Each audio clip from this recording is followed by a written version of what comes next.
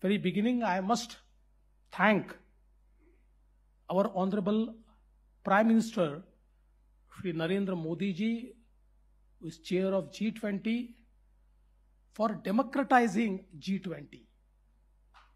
G20 in India is no more a boardroom or ballroom discussion.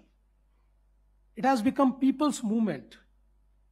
Every single Indian now knows about the deliberations in G20. And I think all these global forums, they require such a democratization because the boardroom discussions are important.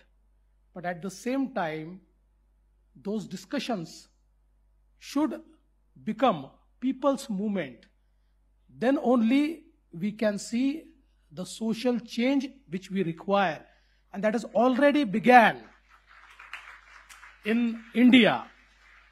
And I must thank all the G20 nations for giving us this opportunity and especially to the team C20 for giving us this opportunity. You can see the excitement in the city of Nagpur. People are very excited to welcome you all.